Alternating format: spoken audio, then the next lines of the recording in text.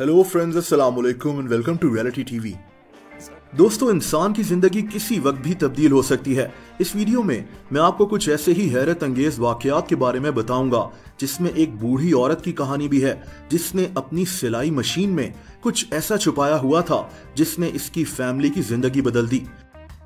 लेकिन वीडियो की शुरुआत करते हैं एक टैंक की कहानी से, जिसके अंदर सोना छुपा हुआ था। इस आदमी का नाम निक मेड है और ये इंग्लैंड में रहता है। इसको मिलिट्री की चीज़ें जमा करने का बहुत शौक था। इसीलिए इसने ईबे से एक पुराना इराकी टैंक खरीद लिया। लेकिन दोस्तों, इसके वहमो गुमान में नहीं था कि इस टैंक के अंदर क्या मौजूद होगा।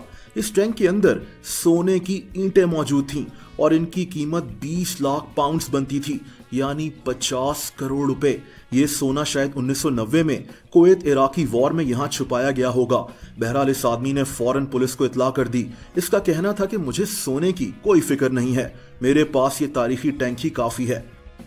दोस्तों, एक साल पहले एक आदमी माइकल लाई को ज़मीन से एक सोने का सिक्का मिला। ये आदमी शौक के तौर पर मेटल डिटेक्टर से ऐसे ही सिक्के तलाश करता था, लेकिन ये नहीं जानता था कि ये वाला सिक्का बहुत स्पेशल है। दोस्तों, दरअसल ये एक तारीखी सिक्का था, जो तकरीबन 800 साल पुराना था। ये तारीखी सिक्का साढ़े पाँच लाख पाउंड्स का बिक गया। इस सिक्के को इंग्लैंड में एक म्यूज़ियम में रखा गया है, लेकिन इस छोटे से सिक्के ने इस आदमी की ज़िंदगी ही बदल कर रख दी। दोस्तों, ये अगली कहानी इस वीडियो के थंबनेल की है। यानी एक बूढ़ी औरत की सिलाई मशीन में कुछ ऐसा मिला कि इसकी फैमिली की ज़िंदगी बदल गई। दोस्तों, इस आदमी का नाम कार्ल सबैटिनो है और ये इसकी चची जेनी वरेस्तो है। जेनी एक सिलाई मशीन इस्तेमाल करती थी और कार्ल को हमेशा कहती थी कि जब मैं मर जाऊँ तो मेरी सिलाई मशीन को खोल कर देखना। काल को लगता था कि अंदर कुछ खास नहीं होना, लेकिन जब जैनी की मौत हो गई तो इसने सिलाई मशीन को खोल कर देखा। दोस्तों, इसके नीचे से एक पेंटिंग मिली। ये पेंटिंग एक अखबार में लिपटी हुई थी, जो 1950s का था। लेकिन दोस्तों, ये कोई मामूली पेंटिंग नहीं थी।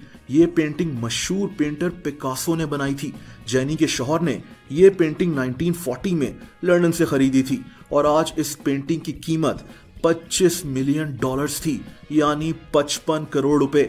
जैनी ने दुनिया से जाते जाते अपनी फैमिली की ज़िंदगी ही बदल दी। दोस्तों, इस औरत का नाम लॉरी यंग है। 2018 में ये औरत एक पुरानी चीज़ों के स्टोर में मौजूद थी। इसने अपने घर के लिए कोई डेकोरेशन पीस लेना था और तब इसकी नज़र मार्बल के इस स्टैचू पर पड़ी। ये एक सर था। लॉरी को यह बहुत पसंद आया और इसने इसे सिर्फ़ और सिर्फ़ 35 डॉलर्स में खरीद लिया। लॉरी को घर जाकर लगना शुरू हो गया कि ये कोई आम स्टैचू नहीं लगता। तभी इसने मुख्तलिफ़ एक्सपर्ट्स को इसकी तस्वीरें भेजी और तब इसको पता चला कि ये आर्ट पीस दरअसल हज़ारों साल पुराना है। ये किंग लडविक के महल में भी मौजूद था और इसको जर्मनी के एक म्यूज़ियम से चुरा लिया गया था और ये स्टैचू अब एक पुरानी चीज़ों की दुकान में मौजूद था। इस औरत ने इस तारीखी मुजस्मे को वापस कर दिया था। दोस्तों, अब मिलिए इस फकीर से। नौ साल पहले इसे अमेरिका के शहर बॉस्टन में एक कूड़े के डब्बे से एक बैग मिला। इस बैग में बयालीस हज़ार डॉलर मौजूद थे, यानी आज के तकरीबन एक करोड़ रुपए। पाँच साल से सड़कों पर रहने वाले इस आदमी ने लालच नहीं दिखाई, बल्कि ये बैग फ़ौरन पुलिस के हवाले कर दिया। लेकिन दोस्तों, कहानी यहाँ खत्म नहीं होती। इस आदमी को इसकी ईमानदारी का सिला मिल गया। सबसे पहले तो इसको कई इनामात दिए गए और फिर लोगों ने इंटरनेट पर इस फकीर के लिए पैसे इकट्ठे करना शुरू कर दिए। दोस्तों, लोगों ने इसके लिए डेढ़ लाख डॉलर्स जमा कर लिए। यानी उस रकम से भी तीन गुना ज़्यादा रकम जितनी इसको बैग में मिली थी। इस फकीर की ज़िंदगी बदल गई थी। और आखिर में ये अजीब वाक्य, दो साल पहले एक फैमिली को गाड़ी चलाते हुए सड़क के दरमियान में एक कूड़े का थैला मिला। इन्होंने जब इस थैले को साइड पर करने के लिए खोला तो इनके होश उड़ गए। दोस्तों, इस थैले में 10 लाख डॉलर्स मौजूद थे, यानी तकरीबन 22 करोड़ रुपए। ये पैसे छोटे छोटे लिफाफों में रखे हुए थे। इन मियाँ बीवी ने फ़ौरन पुलिस को इतला कर दी तो पता चला कि ये पैसे पोस्ट ऑफ़िस की मलकियत थे, लेकिन ये सड़क के बीच में कैसे पहुँचे, कोई नहीं जानता था।